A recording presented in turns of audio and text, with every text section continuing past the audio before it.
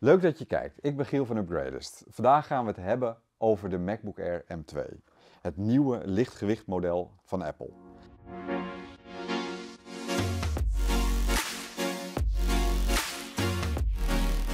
Uh, Apple heeft het hele model vernieuwd. Het model heeft dus een nieuw scherm gekregen. Vierkante model, net als eigenlijk de MacBook Pro. De oude M1 was namelijk een compleet vernieuwde binnenkant in het oude uiterlijk. En nu hebben ze dus ook gewoon het uiterlijk beter gepakt. Wat is er vernieuwd aan het apparaat? Behalve dus alleen het uiterlijk, heeft hij nog een verbeterd scherm gekregen met een hogere helderheid. Het apparaat heeft een nieuwe webcam gekregen. Uh, de oude M1 had een uh, 720p webcam, dat is niet helemaal Full HD. En de nieuwe heeft nu een Full HD webcam gekregen. Wat anders is bij dit model, uh, is dat hij nu ook een notch heeft. Uh, wat bedoelen we daarmee?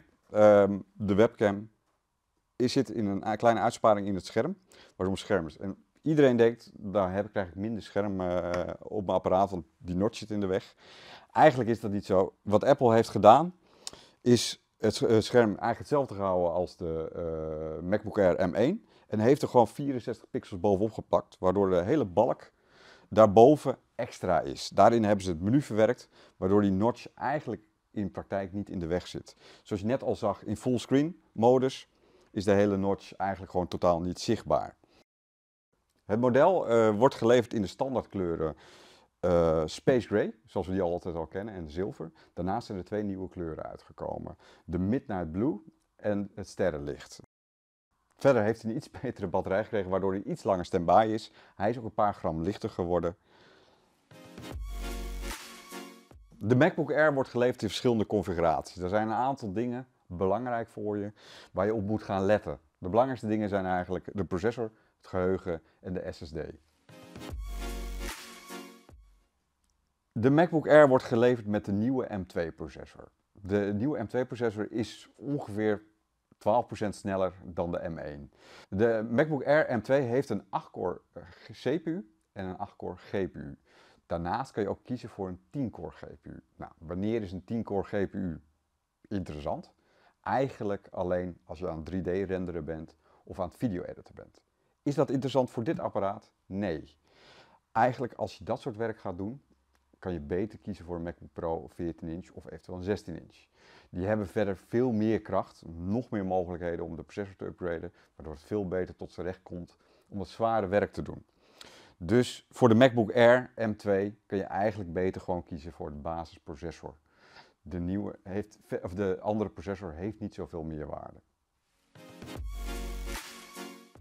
De MacBook Air M2 komt standaard met 8 GB centraal geheugen. Daarnaast kan je kiezen voor 16 GB of eventueel 24 GB. De 24 GB is uh, de extra optie die je nu kan nemen wat je bij de M1 niet had. 8 GB is op dit moment voor de meeste mensen meer dan zat. Maar toch adviseren we eigenlijk om toch te gaan voor de 16 gigabyte. 60 gigabyte eh, geeft je gewoon wat meer speelruimte voor in de toekomst. er zijn al een aantal applicaties wat gewoon beter draait met 60 gigabyte. Als je nu eentje koopt met 8 gigabyte, loop je misschien de kans dat je in, over een paar jaar toch tekort komt en het apparaat weer moet inruilen. Naast 60 gigabyte kun je ook kiezen voor 24 gigabyte. Ook dat is weer een optie die eigenlijk niet zo heel veel zin heeft voor de meeste mensen. Want dan kom je weer in het, uh, het rijtje, waarvoor heb je dit nodig? Uh, je hebt het nodig voor als je veel videowerk doet, veel editingwerk, uh, 3D-renderwerk. Nou, in dat opzicht kan je dan beter gaan kiezen om een ehm, MacBook Pro 16 inch of 14 inch te kopen.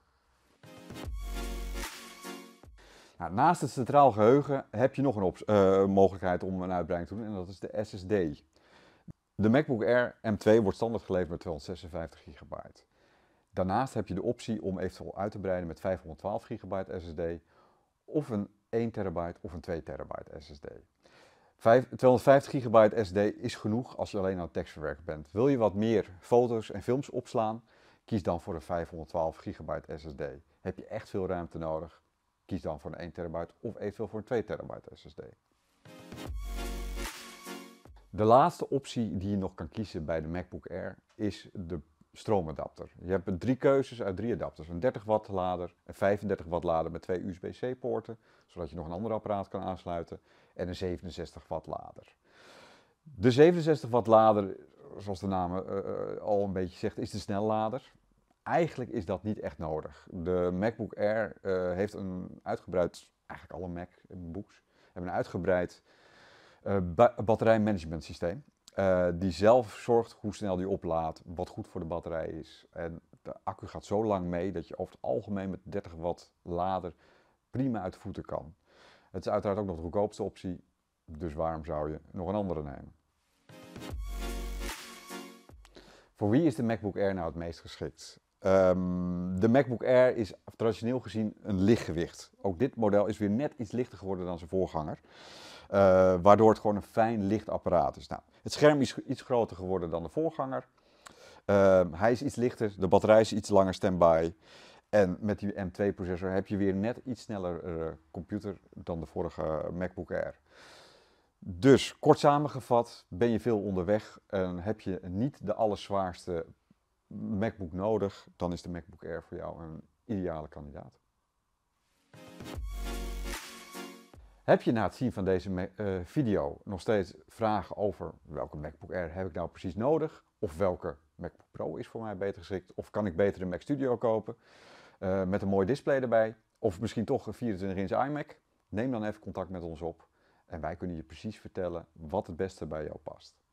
Kijk anders even op onze website, uh, bel ons, mail ons, alles is mogelijk uh, en we helpen je graag.